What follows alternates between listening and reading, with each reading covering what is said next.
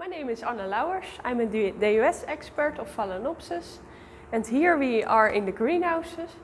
And in this greenhouse uh, you see the living um, variety collection of Phalaenopsis.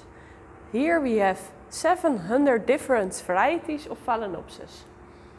It's a new application and in this greenhouse we look for the best similar variety.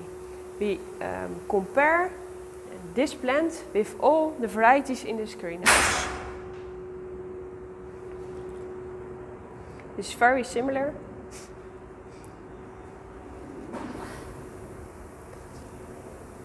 There are big difference between these varieties, so we compare with another variety.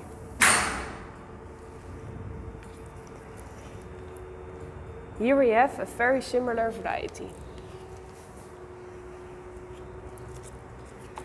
But we see enough difference between these varieties. So we look for a better, similar variety.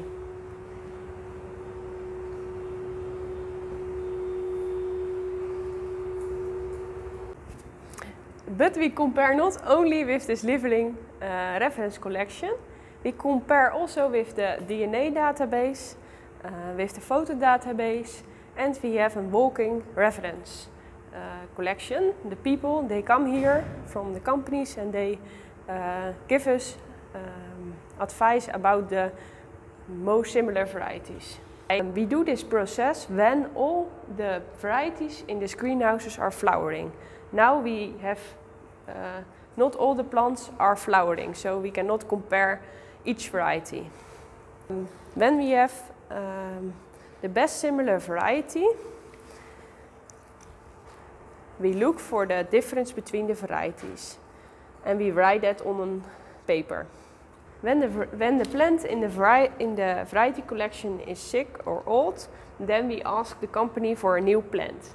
Um, also, every five years we renew the collection. We ask the companies for the new plants and when we receive the plants, we compare with the flowering plants or the database or the description or the photo database and then we put them in the variety collection.